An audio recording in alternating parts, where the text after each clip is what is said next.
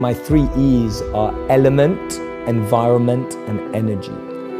Everyone has an element that they thrive in. If you take someone out of it, their element, they won't be the same. A modern day example would be Michael Jordan. He was incredible at basketball.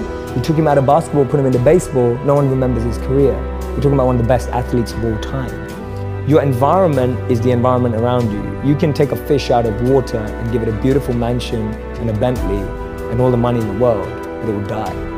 And that's what we are like our environment. Everyone needs an environment which they thrive, which we have to craft. And then finally, it's energy. We, some of us love high energy environments, high pressure. Some of us succeed in low energy environments and low pressure. Figuring out your energy and the frequency on which you operate best will help you thrive as well. So for me, those are the three E's to really create a thriving environment. Know your element, know your environment, and know your energy.